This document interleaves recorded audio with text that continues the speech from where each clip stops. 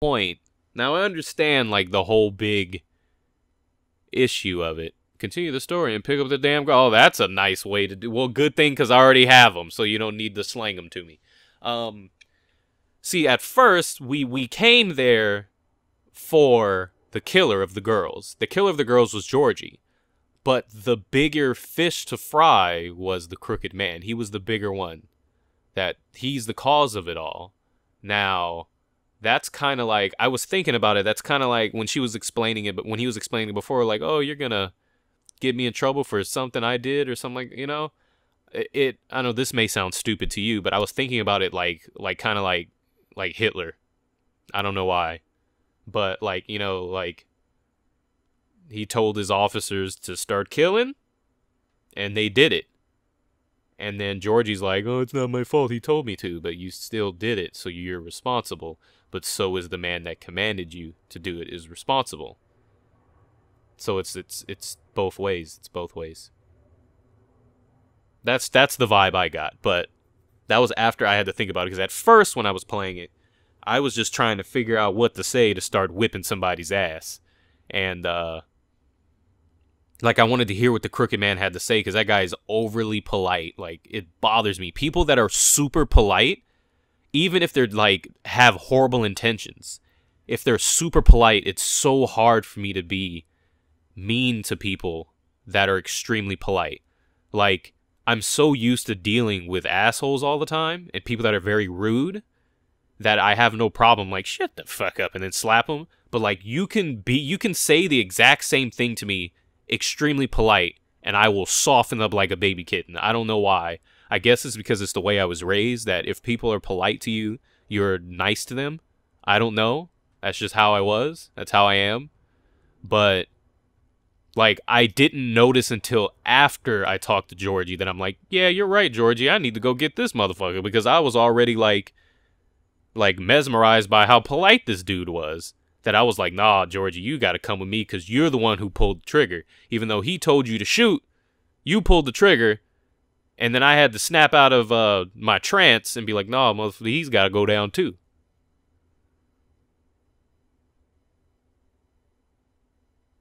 Huh. Huh. And I feel bad that they sent Toad to the farm. I feel bad about that, especially since I told him that I wasn't going to let Snow do it. Because even though Toad was a pain in the ass, I actually kind of like Toad. Um, I know I like Toad more than Colin. Colin's kind of annoying. Even though Toad's an asshole, at least he's not fucking mooching off you, sleeping in your house and shit. I don't know, man. And just like I explained before, like I was gonna put the crooked man in jail until he turned on me. He didn't give me enough time. If he wouldn't have tried to choke my ass, I wouldn't have thrown him down that well. But it looked like he was trying to throw me down the well. Like have me in the headlock and throw me down it. So I was like, nah, man, I gotta return the favor. Throw him down the well. But like I always think about like stuff like with like Batman. I know it's funny I'm comparing Batman and Hitler to the Wolf Among but like Batman always get has all this trouble because he never takes care of the villains, even though that's what he's against. He's totally against that. But like imagine all the people you'd save if you just get rid of this fucking guy. You know what I mean? Like you put them in jail, they're gonna get out and they're gonna kill more people. But it's like you sacrifice this one guy to save hundreds of people, I guess. I don't know. That's how I view it. I don't know. This goes against everything. I don't know, man. Half of that shit was just off impulse though, like I didn't have time to think. I'm not a very good quick decision maker. I have to ponder things and think about it for a bit before I make big decisions. And it just sucks that they give you like a time limit to make your decisions. Drives me crazy because I be because like I totally like sometimes regret the shit right after because I think about it like fuck, I shouldn't have did that. But that's what makes these games so great. You got to make those morale decisions on the fly, man. And it's funny because it always seems to get me in trouble because people be fucking fussing at the decisions I make.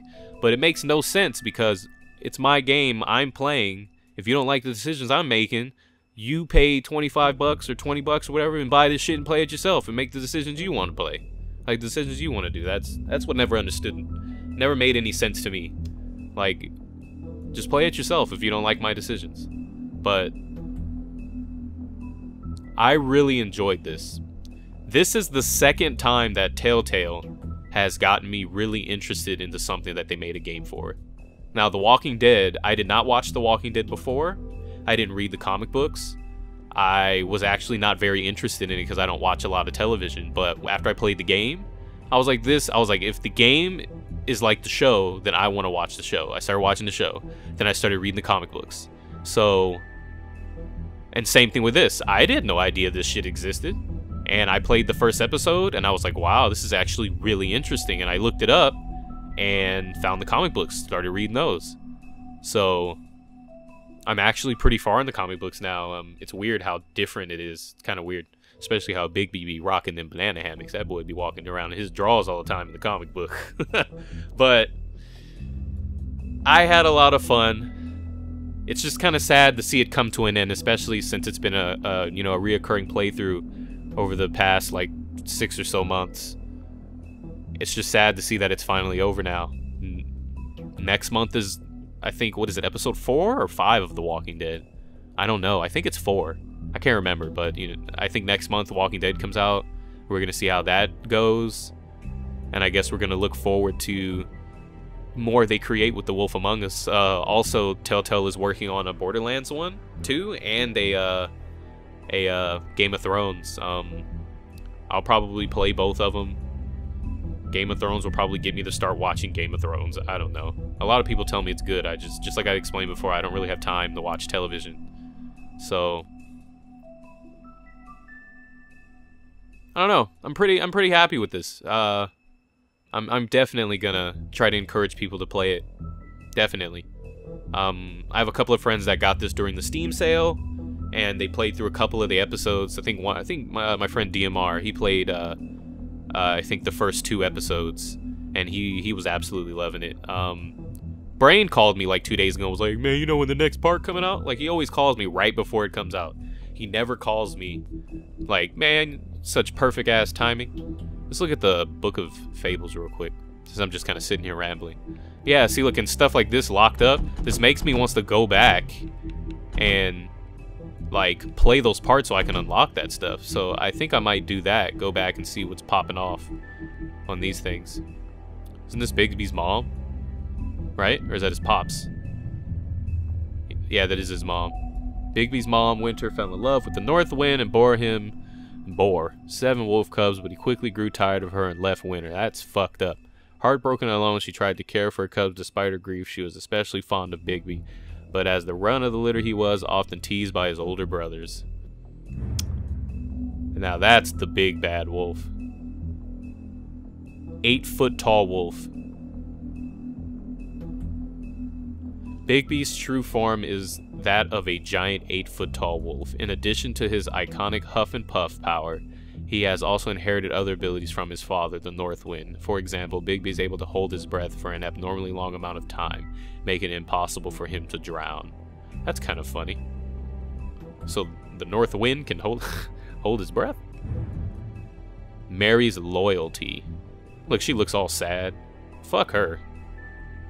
Crooked Man married centuries ago promised freedom as she pleased as long as he agreed to act as his personal bodyguard and hitman Crooked Man's power and influence, Mary never had to worry about getting caught by the authorities. She enjoys her job immensely and would defend the Crooked Man to the death, mostly because she finds it fun. Yeah, she had it coming. That that girl was crazy. Fabletown Justice, they just gather up like eight people and just be tossing people down witching wells. A new order. Snow White is now in charge. She's kind of bitchy in the uh, comic book. She's really uh, she's really snarky and mean. And uh, who she who she married to? Prince Philip. The guy's an asshole. Uh, after fleeing the homelands, Bigby Wolf spent many years wandering through Europe, with a fable colony quickly developing in the New World. Snow White and Feathered Feathertop tracked down the wolf and offered him passage to Fabletown. He agreed, and Snow cut him a lycanthropy. What? Agreed, and Snow cut him with a lycanthropy stained knife to give him the power to change into human form at will. Huh. Became sheriff of Fabletown under King Cole. King Cole! But because of his violent past, many fables did not trust him, and he was banned from ever setting foot on the farm. To this day, he struggles to redeem himself in the eyes of the community. That is true, because Bigby, Bigby is the perfect example of people changing. Yeah. I don't know about that cut him with a lycanthropy. I don't know how to lycanthropy? I don't know how to say that. Stained knife to give him the power to change. What kind of shit is that? There you go. Fuck the Jersey Devil. So yeah, he's not. Yeah, let's put him. I don't give a fuck about the pudding pie. Uh, where is Faith? Where is she? Because. Yeah, what is up with her eyebrows?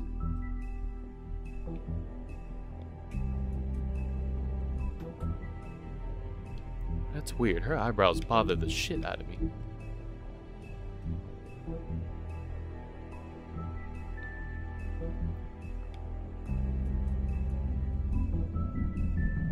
Huh. Yeah, because I noticed that was a little weird about Nerissa, that Nerissa's eyebrows were crazy large. They don't look that big in her, you know, her profile right here. Because she had some big ass, oh, I guess it's the same eyebrows. I don't know what the fuck I'm talking about. I just noticed that right off the bat, her eyebrows were looking fucking weird. So, she could have been using a glamour Auntie Greenleaf got a job. My point is, the this motherfucker right here was a loan shark. He was fucking people over, giving them money, saying, you need me. This bitch. Fuck that guy. Um, with how things are going now, they have more than enough jobs open up for all these people and I think it's ridiculous that they need these glamours to survive in the in like in the Mundy world, but the glamours are so expensive. So I think that's bullshit. That it costs so damn much. But I'm sitting here rambling too damn much. I'm talking way too much. This game is awesome. Please, if you have not picked it up, please go ahead and grab it. This game is awesome. I highly recommend it. It was on sale during Steam for like $8 or something like that. I'm sure it'll probably come back during Christmas. So this would make a great Christmas present for people, especially people that enjoy fairy tales. Um,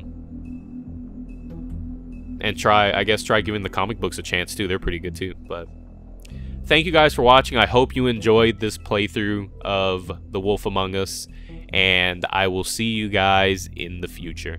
If you're, I was about to say, what the fuck am I talking about? Uh, oh, yeah, yeah, yeah, yeah, yeah. Hope you have a wonderful morning. I hope you have an awesome day, a great afternoon, a beautiful night. If it's your birthday, happy birthday. And I will see you guys on the flip side. Bye. Bye, bye, bye.